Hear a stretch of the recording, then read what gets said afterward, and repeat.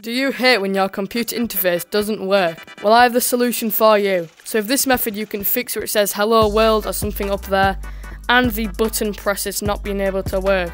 I want to give a big thanks to Shiba GT and Cayman for helping and making the computer interface fix. So let's get straight into showing you how to fix it. First of all, you're going to need to join my Discord down below, discord.gg slash Scotty server. Once you have done that, if you haven't already, scroll down until you find Gorilla Tag mods. If you haven't already, I want you to scroll up a little bit and um, install Monkey Mod Manager. Open the file, scroll down until you see computer interface, check the box and install slash update. Once you have done that, you want to go back onto Gorilla Tag mods and there'll be two new files called the computer interface.dll and the computer interface commands.dll.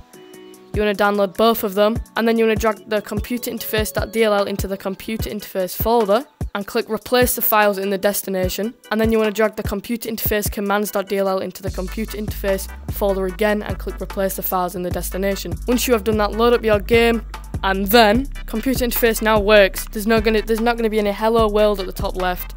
All the buttons now work you can indeed join codes, uh, but I am banned, so I can't. That's how you fix your computer interface.